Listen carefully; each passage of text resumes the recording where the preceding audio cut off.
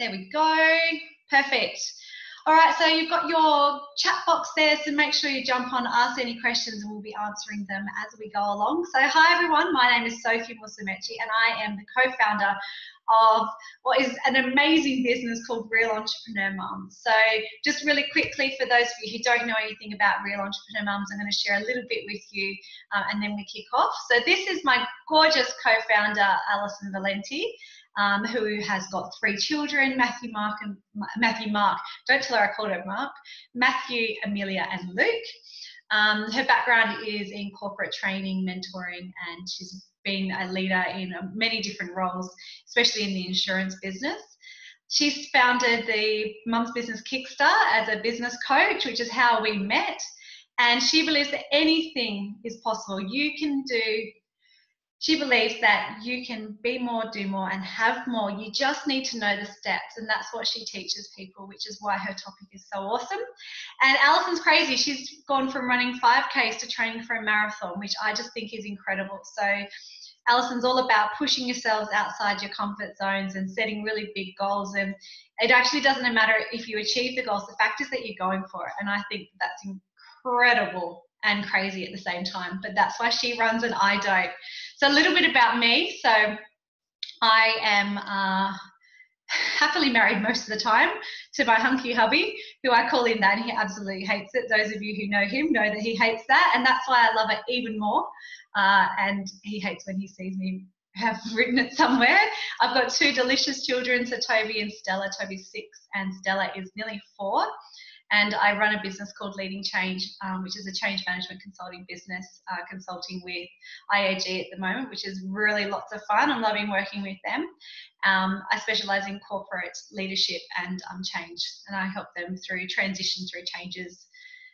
I'm a farm girl, so I actually grew up in the country, had a pet pig called Gertrude, and uh, moved to the Gold Coast when I was 18 and kind of fell into um, entrepreneurship when my youngest, when Toby um, I realized I went back full time into corporate and realized that he had more of our Polish nanny's mannerisms than he had of either mine or Daniel's. And I just went, holy wow, okay, I need to find another way and started on my entrepreneur journey. And that's when I met Alison and how it all got started. So I believe anything is possible. You just have to have the vision, the passion, and you have to take massive action because you need all three in order to get what you want. Um, so why listen to us? So um, I know many of you know about this already, but uh, you know we've grown a business in um, under 18 months to six figures. We've been featured in many many publications. A few of them are on there. Um, we've been mentioned in Parliament um, several times. We launched our own Real Mag, which is an uh, which is a magazine for entrepreneur women, um, and we were recently named. Is it on the Oh, there it is. Top 50 small business leaders by Inside Small Business in Australia, which was just incredible. And we were on the front cover of the magazine, which is crazy. I've got a copy here. But um, absolutely blown away. And we're on the front cover of the magazine as well. So that's a little bit about who we are. And Real Entrepreneur Mums is a business referral group. We, our mission is to build a global business that inspires women to go after their dreams and smash their goals. And um, that's absolutely what we're doing with the support of our leadership team and our fabulous members all across Australia. So, so glad to have you on tonight. You can follow us on all of the different platforms if you want to check us out. We'd love to connect with you and learn more about your business. But let's get into it. That's enough about us. So, tonight's topic is the seven deadly sins of an entrepreneur. Now, I have some bad news though. Alison's unable to join us tonight. So, sick kids, she's just desperate. She wanted to be here, and I said, "Hey, you just need to be where you need to be." But good news is you've got me, and I have a special guest who's going to co-facilitate tonight with me. So Nicole Tewierik, I probably said that wrong, and I'm going to unmute her so that she can, um, so that she can tell me what I have done wrong. So let me just quickly find you. Where are you, Nicole? Nicole? Nicole. There you are. Allow talk. There she is. Hi, Nicole. How are you? I'm great. Do you want to take your video off for a minute so the girls can see who you are? Sure. Let me see if I can work that out. I don't even have an option on this. Oh, maybe you don't. That's okay. Yeah, maybe because I'm a, a participant. Oh, there we go. Um, do you want to just introduce yourself a little bit so the girls know who you are? Absolutely. Um, so thank you very much for asking me to do this. Um, my name is Nick Tewierik. I'm a um, mum to two beautiful girls, and I have my hubby Jeff, and we live in Melbourne. So I have been in the consulting business for longer than I care to admit. Um, in a public, public forum, really. Um, and also in the last 12 months, I've started uh, working as a business coach, working, working with professional mums in small business. Um, so we moved down to Melbourne in September last year to be closer to family, which has been absolutely amazing. And I feel very, very lucky to have found real entrepreneur mums um, who have recently started down here with our Melbourne Central group. So I'm also a community leader, um, which has been absolutely an incredible experience. I'm so enjoying getting to know all of the amazing ladies in our group. Fantastic. And name perfectly. yes, yes. And um, Nicole is an incredible business coach. She runs online coaching sessions and one-on-one as well. So when I looked for who would be a great person to step in, it was definitely um, a quick call to Nicole, and she was more than happy to help. So thank you so much, Nicole. I'm going to leave you unmuted so that we can um, we can keep going. And uh, Alison does send her deepest condolences, but um, she'll be back on board really, really soon. But let's get cracking on her topic, which is the seven deadly sins of a small business. I love to call this of an entrepreneur. And I will put my hand up that I am Yep, I have probably done all seven of these things, and it'd be interesting to see. I'd love as we go through and we pull up each one, just put a little comment in the uh, chat box and let us know if this is something that you've probably uh, done in the past as well. So um, let's get cracking. So, the seven deadly sins small businesses make in marketing that cost them money, customers, and time. So, sin number one, let's get started. Now, if you're a member of Real Entrepreneur Mums, you should definitely know all about this because we teach this straight off the bat. Sin number one is not defining their target audience. So when you are trying, like when I ask someone, okay, so who's your target audience? Who's your ideal customer? And they say, well, everyone, everyone, you know, buys skincare. Okay, well, no, that's that's not true. That's not who your target audience. Your target audience, if you are looking to try and sell to everyone, what's going to happen is that your message is going to get lost. If you think about how many different messages and images and videos are flashed in front of our eyes or in our ears in a day, it's in the thousands. And if your message isn't specifically talking to your ideal target audience, it's going to get lost there is so much noise in there and you need to get cut through. So if you don't define who your target audience is, your message is going to be bland and boring. So understanding your target audience and then you can speak directly to them. And I know when someone has done their work very well because when I see an ad or a post or something and it comes up and it makes me stop scrolling and I sit there and I read it and I'm like, wow, this is me they have done their work on their target audience because they're talking my language. And that is how you identify where your target audience is. So think about, you know, what problems do they have? So you want to write them down. What are the problems they have? What keeps them awake at night? And then how can you put your messaging um, in front of them? Okay, so that's number one. We talk about defining your target audience as your Emma. So where does she hang out? Where does Emma hang out? How many kids has she got? Does she have kids? what stage of life is she in? Is it a she? Maybe it's a boy. Um, maybe it's older people or younger people. What platforms are they hanging out on? Um, you know, what do they like? What do they dislike? When you can create a really clear picture of who your ideal client is, you can then sell directly to them. It's really, really important. Okay, so Nicole, I'm going to hand over to you for sin number two. Great, thank you. So I would love for you to pop your hand up if you would say that you are in online business. I'm going to go out on a limb and say that a very high number of you would will put your hand up to say that because most of us are using um, online business in some way, shape, or form to market ourselves. And most of us will have a website. And the biggest mistake that I see a lot of my clients making, and particularly early on in their business, is they're not capturing leads. So, what this means is you might be getting traffic to your website or traffic to your social platforms. People might be following you on, you on Instagram or Facebook, but what they're doing is they're exploring and they're really just sussing out whether you're actually someone they might want to get to know a little bit better, or they might want to um, follow to learn from, or whether or not indeed you're someone they actually might be willing to invest some of their own money in to have you help them solve a problem, whether that's products or services. What we see though is if you're not giving people an opportunity to connect with you in a more concrete way, so capturing leads is about capturing generally their email address and their name into your email database so that you can market to them. So that can look like an opt in, Uh, which would be a downloadable product of some sort or a free training that they give you. They give you your their email address and uh, in return you send them an email with a link to something that they can download. It might be a great cheat sheet or a roadmap to get to a particular outcome that's of interest to them or free training and then you've got their email address in your list. And that means that you can connect with them and build that know like and trust factor by delivering value over time.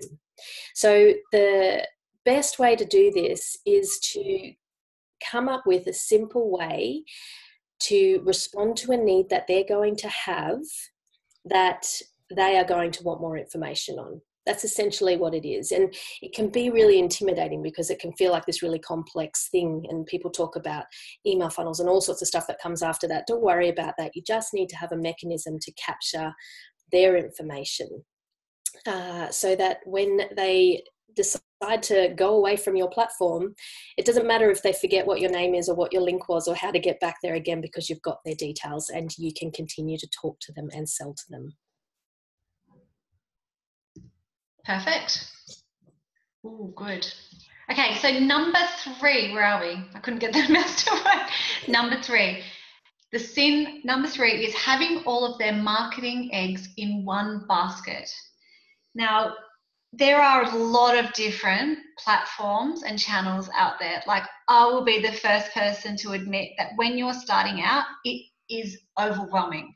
So, by knowing who your target audience is and where they hang out, you can then start to narrow it down into a key couple. So, I would recommend starting off with maybe two different platforms.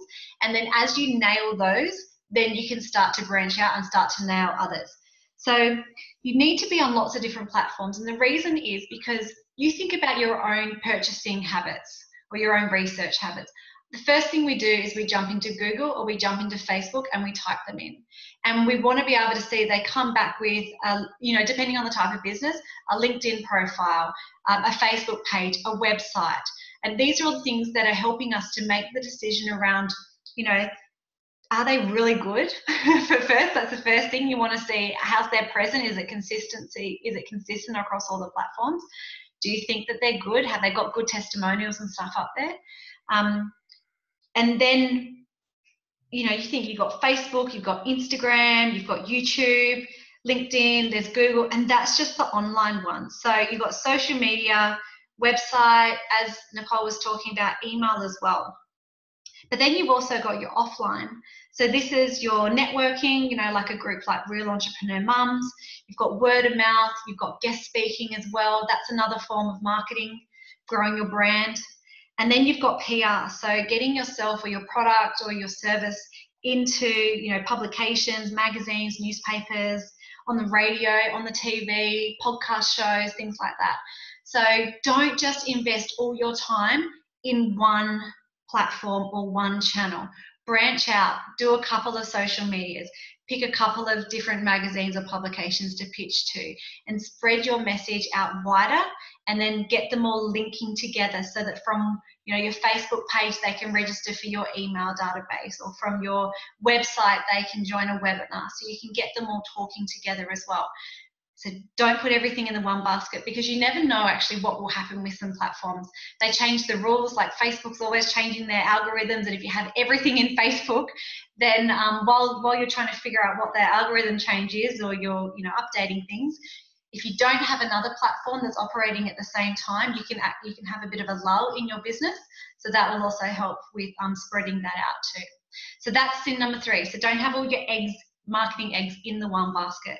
So sin number four, trying to be like everyone else. How boring would that be, Nicole? Oh my goodness. It is so easy, excuse me, to be intimidated by all the people that are out there and just watching everyone else's business when really all you need to do is be yourself. And that's what this sin is all about. Because if it's similar to being, you know, just on one platform and not being able to make enough um, impact so that people actually notice you. If you're if you look and sound like everybody else in your niche and everybody else who provides the products and services that you provide, then how on earth are you going to stand out to your Emma when she comes looking for you?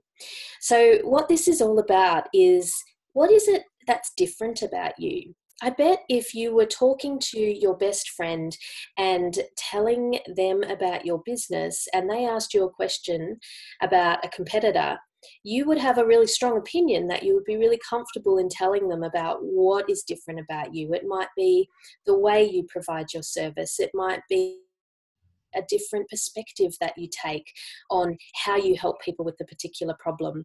Um, it might be the if you if you're selling products, it might be that your products are organic. It might be that they're handmade. It might be that they're really really cost effective. There's there are things about you and your business that are very different to all of your competitors. And it's really, really important to embrace those things that that are different. And I think for particularly mums, and I probably say this because mums are my niche as well, we I don't think we can be in small business without being really, really connected to our business because it's a part of us. It's one of our babies. It's usually a really important part of where we want to get to, what we're working towards. And so I think that bringing your own personality into your business is a great way for you to start to rise up out of all that noise that's going on in your niche and for your Emma when she's trying to find you. Because being yourself, we naturally connect with people who are really natural, and you can tell that it's not contrived. You can tell that you just want to connect with them and and we've all well i hope everybody else has experienced this but we've all kind of you know found these people online where you're like oh i just really want her to notice me because i think she's really really lovely or or whatever that might be so for me this is about being yourself, knowing what's different about the way that you do things in your business better than other people, whether that's your products, your services, how you deliver. It might be your back end, you might be super efficient, whatever it is that's different about you. But the other thing is that making the thing about you and your business that is different speak directly to your Emma. So it plays back to that first point. The better you know your customer avatar, the better you know who that ideal person is that you want to work with and what they love and what they don't like and their hopes and their fears and the problem that you're solving for them and you know their gender and have they come from the country and do they have kids and just giving them this personality it helps you to really rise up when you are being different and and speaking about your different differentiation i guess is the right word to be using here um, to make it really about your ideal client. So for me i think this is this is it's really just about being yourself and being really really authentic and don't be intimidated by everybody else that's out there because i guarantee you that they are a red hot mess behind the scenes. What do you mean? Except for you guys of course. Not. It's so true and that's like the word real in real entrepreneur mums you know? People aren't looking for perfection they're looking for real they're looking for relatability and your story and your uniqueness is what is going to connect your emma with you because you're not for everyone. Not everyone's going to love real entrepreneur mums. I know i had to i had to realize that. And that's okay because we're not for everyone. Um, but yeah get, get comfortable with who you are because when you do God, it makes things easier. So much different. That was great, Nicole. Thank you. So, sin number five focus on themselves and not the customer. Now, I've got a few different stories kind of flooding into me, and um, one that I remember particularly is one of our members, and she had a great product, um, but it was built all around what she thought was good. And she delivered it in a way that she thought her customers wanted because that's what she wanted. But when we got to know her and we were all like, oh, but I wouldn't do it like that. And I, you know, I hope she doesn't mind. I'm going to, uh, to talk about her for her service, but she does work, home workouts in nine minutes, right? Which sounds fabulous. But you had no workouts in nine minutes, you had to go to a gym and use gym equipment. And we're like, well, I don't go to a gym because I've got little kids at home and, you know, can we use stuff around the house? And she's like, no, you have to use this specific stuff or you have to go buy it. But after she listened to us um, and took down that resistance around, well, no, this is what I think it should be because I know better because I'm the expert. Um, once she listened to what her customers were telling her, she was able to make those little tweaks and now, when she engages with her customers, she's talking and delivering it in ways that suits them. And then they're going, oh, like her Emma is going, oh, that's exactly what I need. Oh, it's perfect. It's fit for me. I can do this at home. I can, you know, do it before I, you know, pick the kids up from school or whatever it is. So, you know, just because you think your product is great doesn't mean everyone else will. Now, think about that for a minute. That's huge how many times have you come up with an idea and you're like, oh my God, this is going to be amazing? And then you're like, oh, who's going to buy it? Everyone will buy it. Well, but will they really? And that's where we keep talking about really define who your Emma is. If you know what your Emma, her problems are, and then come up with a solution for her problems, then bam, you've got a winner. And I can think of, I think Tony's on here, so I might bring up Tony's story. So I remember Tony um, you would tell it way better than I, Tony. But um, Tony was absolutely sick of mismatched lids in her um, container drawer, right? So how many of you have one of those drawers that is just a nightmare? So, you know, she's like, oh my God, if I can't find this lid, these lids one more time and her drawer was a mess, she was losing the plot. So she jumped online and started researching options, right? And she came across Mr. Lids, but it wasn't available in Australia. So she researched a bit further and she's like, well, if I'm having these issues, surely I'm not the only person. And clearly she wasn't. She did her research and then um, she looked into bringing out Be Kind, Tony. Of course, I'll be kind. Um, and then she, you know, brought Mr. Lids to Australia and now she owns Mr. Lids in Australia. So, you know, attached container lids, no more finding your lids, they stack in themselves um, you know, tidy, you use less space in your drawers. So she solved the problem of that she had for herself. So it makes it easier then when she's actually engaging and trying to sell her product because she knows exactly who her Emma is. Her Emma is herself. So it was much easier because she wasn't, I've got that right, Jonathan, I, Yeah. The focus on, so she was focusing on the customer instead of on, on just her. So think about what the benefits are and what results your customer will get out of it. Um, a great way to do this is through testimonials. It's always so much easier to have someone else rave about how great your business is. And that's one of the reasons with Real Entrepreneur Mums, we talk about raving fans. If you can get your customers raving about you, video testimonials, reviews on your Facebook page, on your website, don't, you know, make, make sure they're linked to your website as well it adds social proof and people want to buy from you. And if you get them showing how they've used the service or the product as well, rather than just how great you are, then that is a really great way um, for them to talk directly to your um, customers as well. And don't be shy to ask for feedback. I think we are so caught up with being perfect, right? This world of, you know, the Instagram filters, oh my God, we've got to be perfect. You don't. And you should ask for feedback, especially in those early years tweak your messaging, tweak your product and your service, tweak how you're delivering it, and keep asking for feedback until you know you've got it, you know, the 80 20, 80, 80 20 rule. Get it right and ask for feedback. Maybe, you know, give away, you know, 10 free services. And the only catch is that you um, they do a proper feedback session with you so that you can really learn.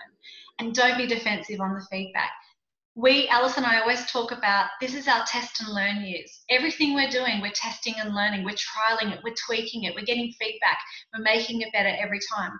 is the first time I ran, run this webinar by myself tonight. No, I've never run the webinar by myself. I couldn't figure out how to do the share screen. But you know what? The next time it will be better. Don't worry about perfection. Just keep improving and keep the customer in the focus. What do they need?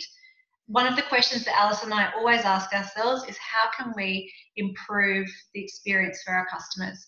And our customers are our members. So keep the customer at the heart of all that you do. Um, and you cannot go wrong. Over to you, Nicole, for number six. Oh, we're powering through these. Yeah. And I have to say, you're doing a fabulous job. You would never, you, we, you shouldn't have told us. We would never have known. I tell you what, sometimes Alice and I, we could step in for each other, and without a picture, we sometimes talk the same as well. it's a sign of how closely you work together. Yeah.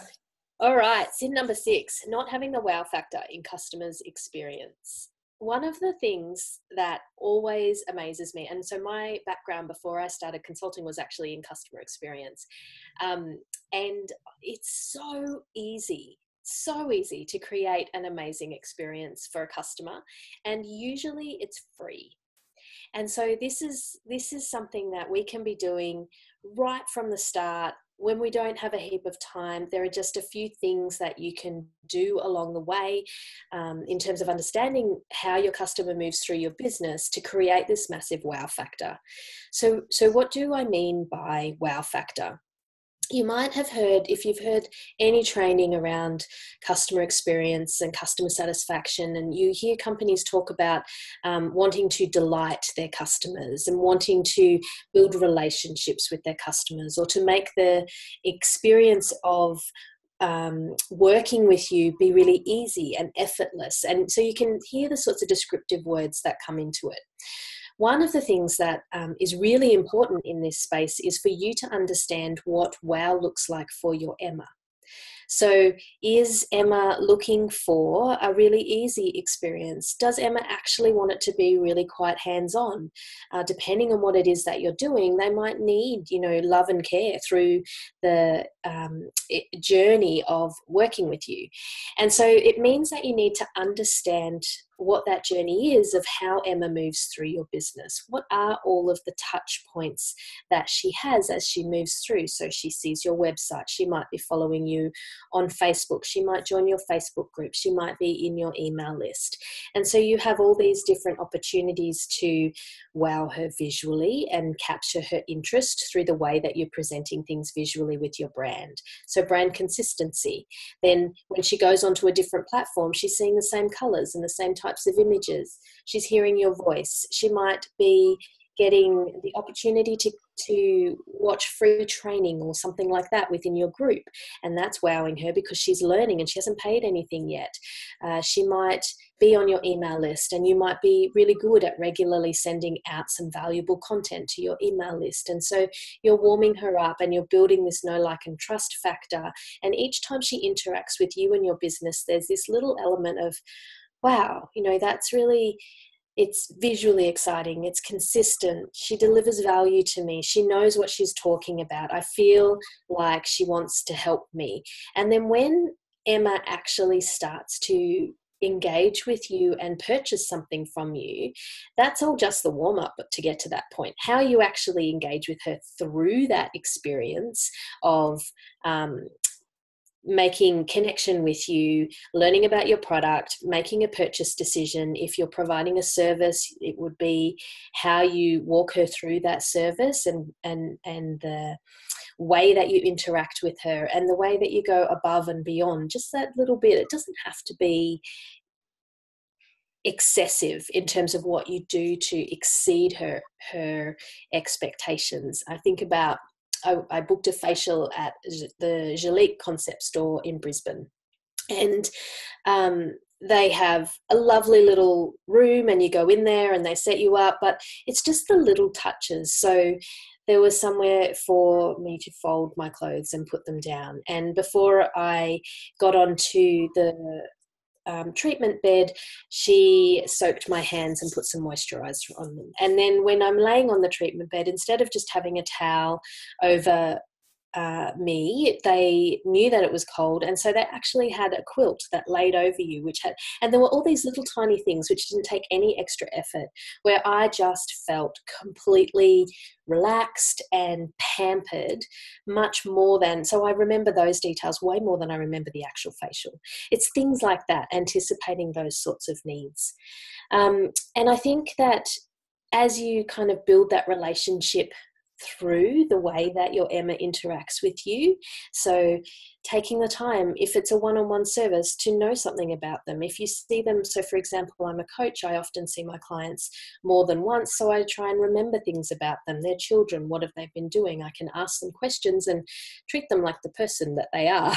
And I think there's so much value in in acknowledging all of those little pieces along the way the other thing I wanted to say though is when something goes wrong, that that actually can be an opportunity for you to knock it out of the ballpark in terms of how Emma's feeling about you and your business. And if you can think about an example where uh, you've you've had a product or service and something hasn't gone right and the business has just gone out of their way to fix it for you. They've been apologetic there's been no defensiveness they've just gone ahead and resolved it. And you walk away not even really remembering that stuff went wrong because they've done such a great job of dealing with it. And so that's why that's where you know thinking about this wow factor can be really important because it doesn't it doesn't matter whether things are going well or not well. You just being really considerate around the experience that your customer has as they work with you uh, can create the wow factor irrespective of what's going on I could not have agreed with you more. Customer experience is so close to my heart. It's actually one of the um, the main topics of our Accelerate Summit this year. So every year, our members are invited to a summit, and this year the theme is all about accelerating your business by transforming your customers' experience. So it is just so important. Like every people always say, "Oh, I want more sales. I want more customers," but it's all about how they experience your business at every single step of the journey. I cannot wait for the summer because we're going to absolutely transform everyone's business by mapping out the um, journey points and then just absolutely tailoring it to their customer, to their Emma, so that they love them, are coming back and raving about them as well. Thank you, Nicole. That was brilliant. And the last sin, sin number seven, is too many hoops to jump through. Now, I can remember how many times I've gone to buy something online and I get to that point where it says, please enter your credit card details. And I go, oh shit, I don't have my wallet with me. Like I don't do you know what I mean? There's no click through to kind of connect with a program or to or put my credit card details automatically in and I'm like, oh, and I close it and I go, I'll do that later. And I forget. How many times is that happening in your business? Something like that. Do you know where your customers are dropping off? Because that is a really good telltale sign that something's not working. You're making it too hard for them. It needs to be easy, effortless, fast to do business with you. Take the pain out, take the, the, the additional steps that aren't required. So, um, what I want you to do is have a look at the process. So, when I say process, I mean step by step that your customer goes through right from the first time, maybe it's the, the first time they search for, you know, containers. I didn't want to put a name in there, but maybe they're searching for containers or, uh, you know, maybe they're searching for skincare or whatever. How do they find you? Um, but once they land on your website, what are the steps? How many pages, how many clicks do they have to do to get through, to buy, to check out, to get the receipt? What are all those steps? Now, you might have mapped this out at the very beginning, but I bet you your processes have changed since you first started. Map it out again and then sit through and go through that process yourself and put yourself in their shoes. Buy something from your website if you're an online business or you know book in an appointment if you're um, a, more of a consulting kind of business. Go through the process that your customer goes through so that you can see how annoying it is in their view and what you need to fix. I'm all about automation. Uh, that, that's my like if anyone wants to know what my word is for the year it's automate Last year was simplify, this year's automate. so what can you automate? What can you just make, you know, even, you know, pre-populating fields um, is really important. Like my credit card, so many people have not had money from me because that annoys me. So what are those things? How can you make it simple for your customers?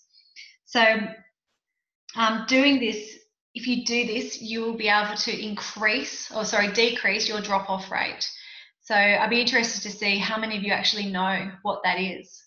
Um, is there an automated way that you can track it? Um, if you're doing online shopping, I'm guessing that there is. But even think about um, registering for an event. So maybe you do Facebook ads or you have a campaign that runs for people to um, register for an event how many fields are you, and this is a learning I had to go through, how many fields are you asking people for to register for that event? Do you want to know everything about them? What information do you actually really need to know? Their name, their email address, maybe a mobile number. Um, trying to get too much information from them, mandatory fields, they'll just drop off. You don't want that drop off rate. Because even if they don't show up to your event, you'll still have their email address, like Nicole was saying, and then you can still keep building that relationship with them, building that trust with them. So find out what your drop off points are if you can. Do a customer survey as well. Like you find out what their pain points are. Like I said before, don't be afraid to ask for feedback. Especially in the beginning, you want to nail this. You don't want to go another, you know, three months, six months, a year, and you're still not seeing the return that you were expecting because you haven't nailed the processes. So this is what underlines underlies your business. This is one of the core foundations of starting a business is having really simple processes. Make it easy for customers to do business with you. So at the at the end, not only are they ridiculously happy with the product or service that you've given them, they're like, oh man, that was easy. I can't wait to do that again. Right? So think about how you can simplify that process for them. Okay, so lastly, I'm going to recap over the last over the seven sins. So sin number one, not define your target audience. Sin number two, not capturing leads. Sin number three, having all your marketing eggs in the one basket. Number four, trying to be like everyone else. How boring. How boring. Just be like you. You are great just as you are. And sin number five, focusing on themselves and not the customer. It's all about the customer. Make your business customer centric and see it go through the roof. Number six, sin number six, not having the wow factor in customer experience. And the final one, sin number seven, which we just touched on, too many hoops to jump through. Keep it simple, keep it easy. Massive, massive thank you to my co-host Nicole, who did an absolute brilliant, brilliant job tonight. Does anyone have any uh, questions quickly they want to jump in the chat box? Please let us know if you do. You are most welcome, everyone. And um, if you do have any questions, please feel free to connect with myself and Nicole on Facebook or Instagram or wherever you like.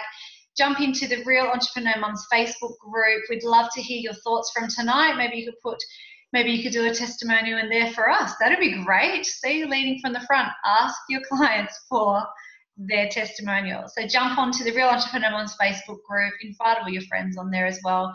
And we look forward to seeing you on the next real um, insight session, which is in two weeks, with special guest trainer Susie Jacobs.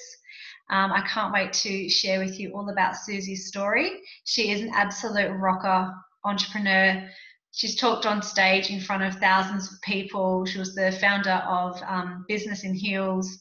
And um, yeah, she's just absolutely incredible. And she's going to be sharing her story and all about how to get your confidence for, for the stage. So look out for that one. It'll be coming out in your inbox and also on, um, on our social media tags. So again, thank you so much to Nicole and thank you everyone for joining us live and for those watching the replay. We uh, look forward to seeing you on the next one. Bye for now. Thanks, Sophie.